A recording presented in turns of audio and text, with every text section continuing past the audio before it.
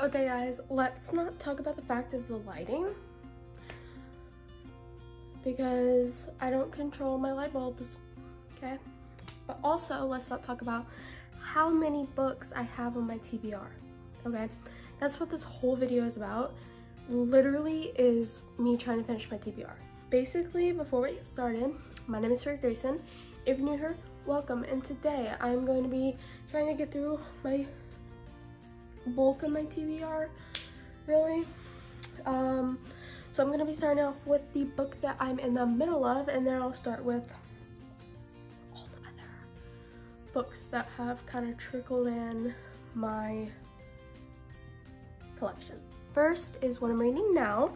I'm reading Caraval by Stephanie Garber. This book, I am 40 pages in, really, really good, and I don't regret buying it very good. Um, basically, it's about this basically show by Master Legend, that's his name, um, called Caraval, and she, this girl, Scarlet, sends a letter for her sister Tella, or Donatella, um, to try to get there because that's what her sister Tella always dreamed of, is to go see Caraval. But she finally gets a response after like seven years, I believe. Or, um, yeah, seven years. And she finally got some tickets, but then she has to, Donatella gets taken and she has to like go through the game and find Tella and there it's a whole trilogy. So this is the first book and then the second book is Legendary. And then the third book is, I don't know what the third book is, honestly but that's what I'm reading right now. I'm gonna try to go through these pretty quickly just to, because I'm not gonna say the whole synopsis just because it will take ages and I don't really want it to take ages. Next book is As Good as Dead. This book has been on my TBR forever, okay? I've read um, A Good Girl's Guide to Murder and Good Girl Bad Blood very good books. It's just I am some reason this book has just been it. I can't get through it.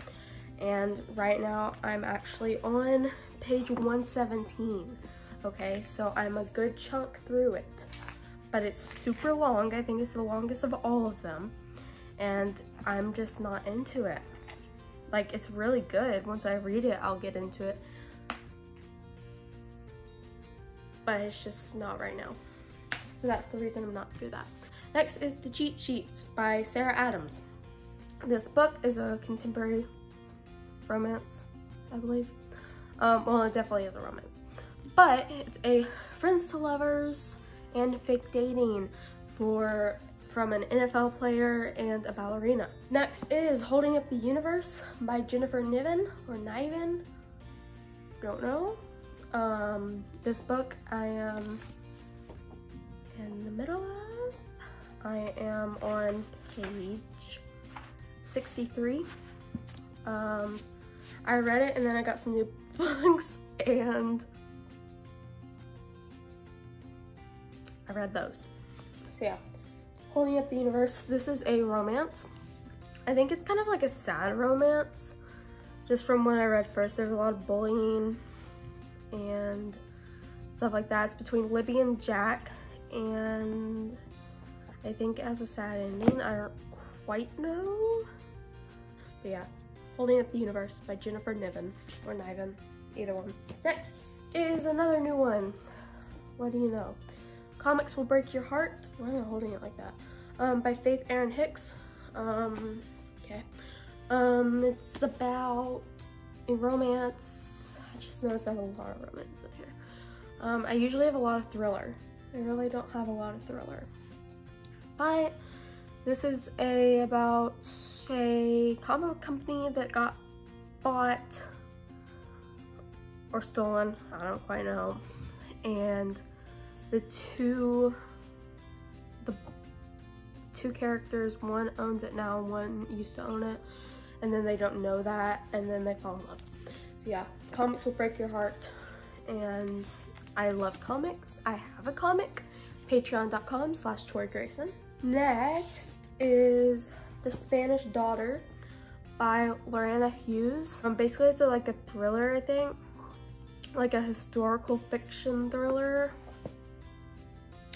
if I'm not mistaken. But it's about family secrets, love, hope, resilience, power, and chocolate.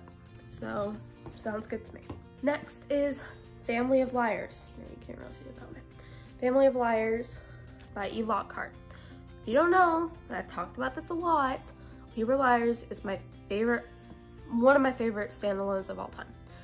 And Family of Liars is the prequel to We Were Liars, but it just came out. And it is, from what I've read so far, it seems pretty good. Um, but I just wasn't that into it. But look at the inside, like, bro, good job.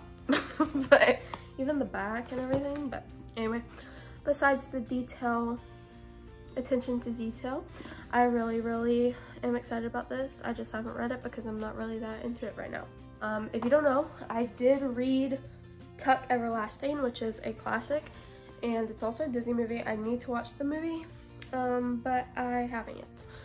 Next, um, this is a classic, The Great Gatsby by F. Scott Fitzgerald and this book is a love story and can we just talk about the lettering? It's like a school project to read this, okay?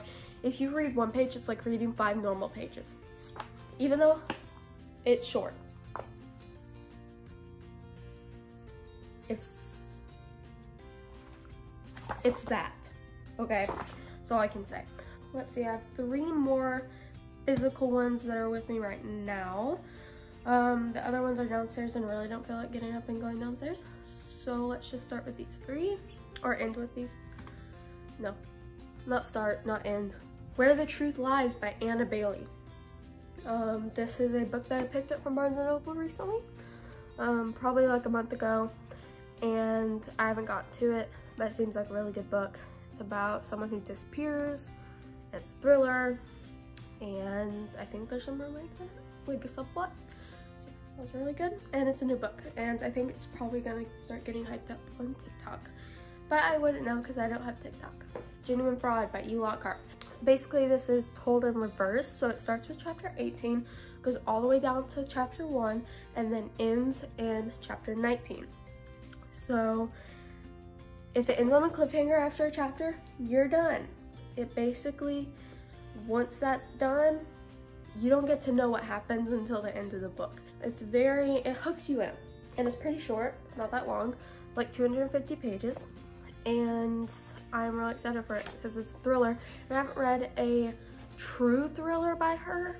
I've read the, because We Were Liars is kind of like a literary fiction with a thriller twist at the end.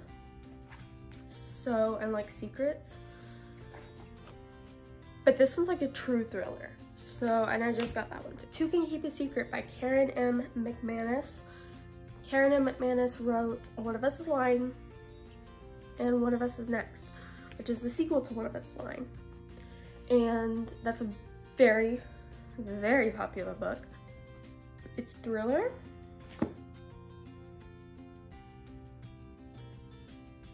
And yeah, that's all you need to know. Next, let's see. Um, I want to finish the um, the Summer I Turn Pretty series because I want to watch this TV show and I need to finish the second and third book. I read the first one, so I have It's Not Summer Without You with me currently, but I'll probably wait to read that later so I can buy the book after I've read most of these. Um, so yeah, I don't know what the last book is called, but I want to read that. And then I want to read The Seven and a Half Deaths, Death, Deaths of Evelyn Hardcastle. Um, I also got that one a month ago, along with Where the Truth Lies.